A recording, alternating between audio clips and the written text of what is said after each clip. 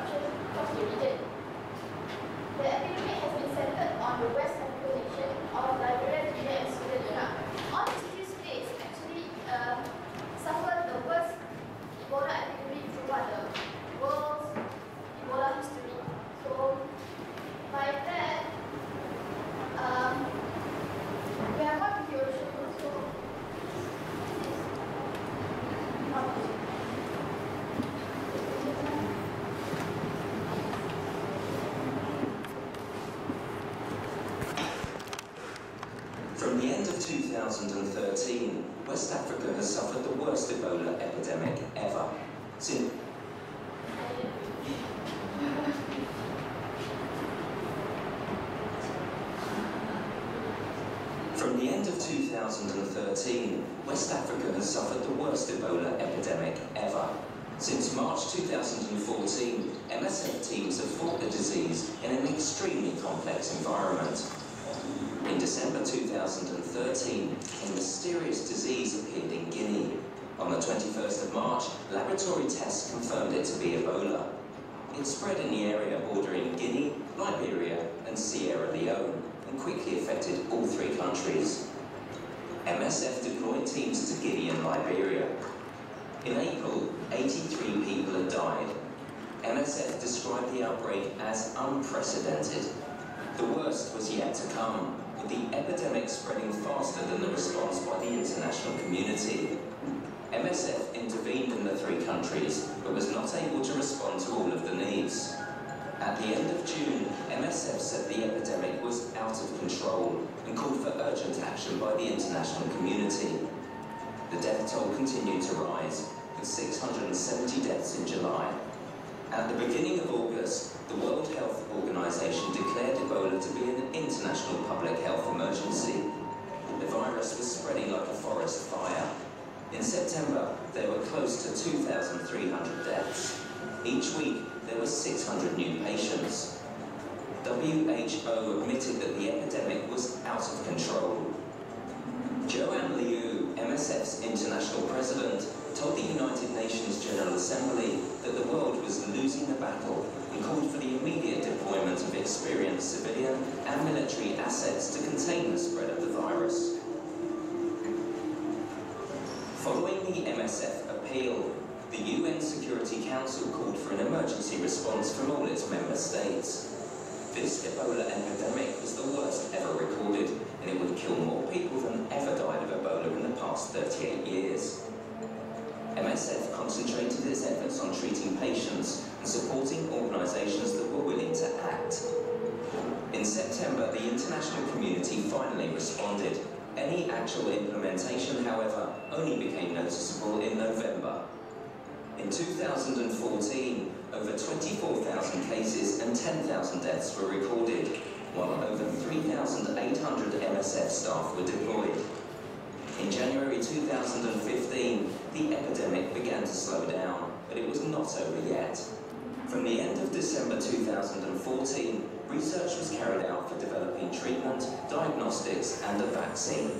In this first year of the response, close to 500 health professionals, including 14 MSF workers, had lost their lives in the fight against the Ebola virus.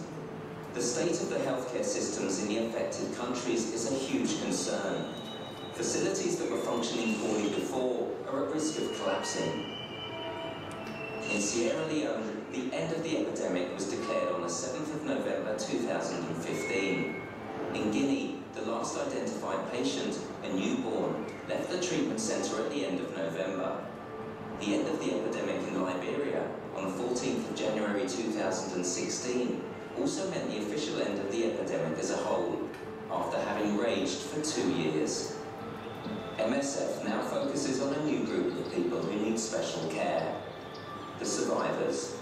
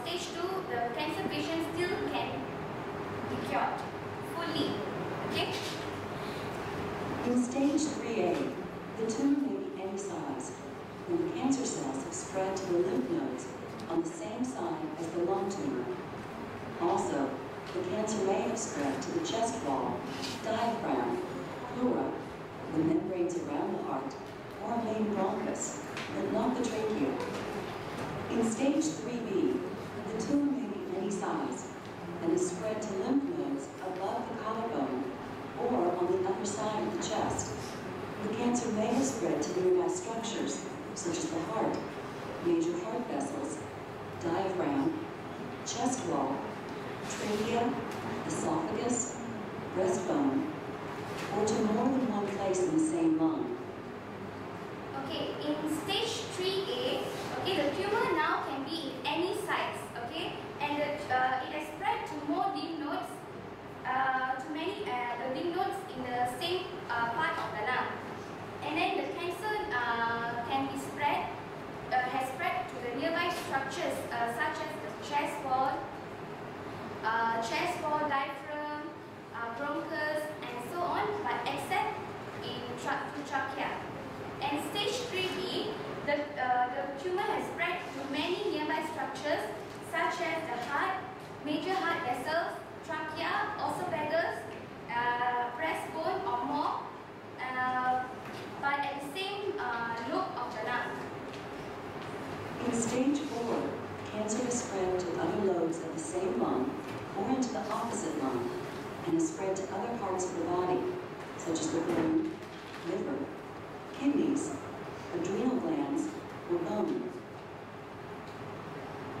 In stage 4, the cancer has spread to all the parts of the lungs, okay, and to the whole part of the body, such as the liver, brain. It will spread, it will spread to the liver first, because the liver is the uh, is the easiest, uh, has the easiest pathway the cancer cell can spread to.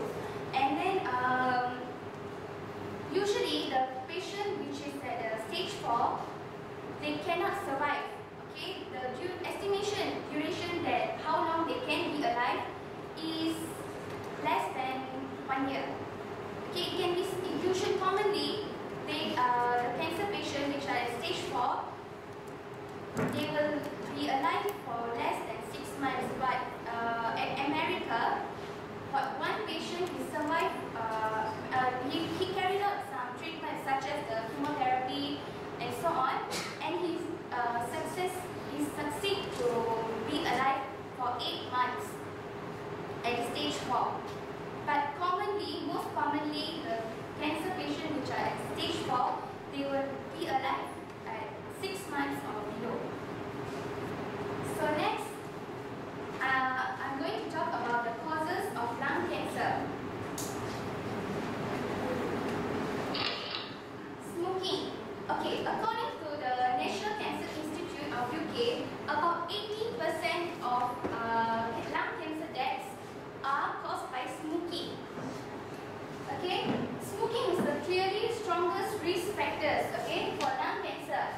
But if the smoker also exposed to other harmful substances such as the radon or asbestos, so yeah, the smokers are at more higher risk. Next is gene changes that lead to lung cancer. DNA also can influence our risk for developing certain diseases. Okay, also some kind of cancer. Okay, this is our DNA. Okay, our DNA, it consists of proto-oncogene. Proto-oncogene is a good gene. Okay, it's a good gene. It is uh, for, uh, its function is to make the cell divide, uh, rep, uh, divide in a healthy way. Okay, uh, it uh, promotes cell growth and uh, cell differentiation. So so when uh, proto-oncogene loses its function or ability, loses its function or ability, so it starts to grow rapidly. The cell starts to grow rapidly and this may lead to cancer. So when the proto-oncogene loses its functions, uh, oncogene, oncogene will be activated. Oncogene is a bad gene. So once it's uh,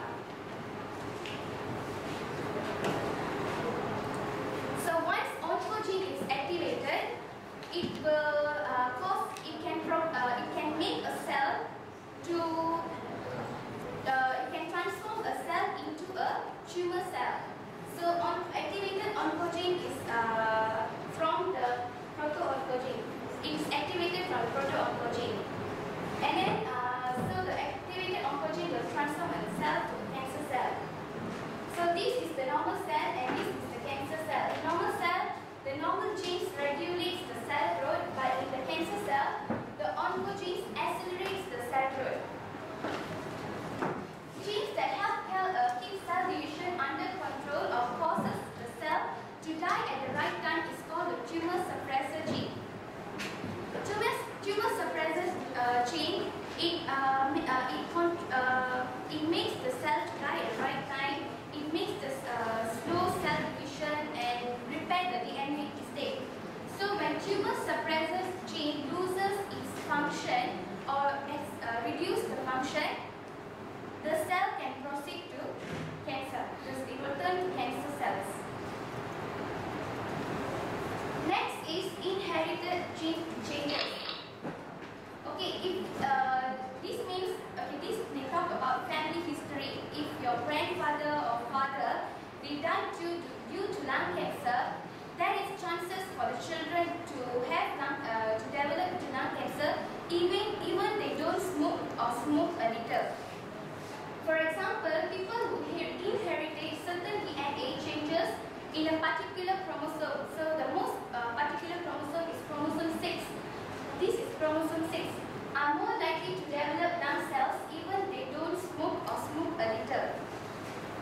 Okay, and some people seem to inherit a reduced ability to break down and get rid of certain types of cancer-causing chemicals in the body, such as those found in tobacco smoke. That means the uh, person, their DNA or their, their gene is like uh, is less effective, so the they, it can fight with the ca- cancer-causing chemicals, such as the tobacco smoke. Lung cancer in non-smokers. So lung cancer in non-smokers can uh, can be caused by exposure to radon, air pollution, or other factors. Workplace exposures to asbestos, diesel exhaust, or certain other chemicals, okay, can also cause lung cancer in some people who don't smoke. This is asbestos. It's a very harmful substance. Okay, it's made up of silicate. It's a silicate material used in fire-resistant or insulating materials. It's very, uh, it's a very harmful substances and it can cause uh, lung cancer. So to proceed, I pass to Doris to talk about the symptoms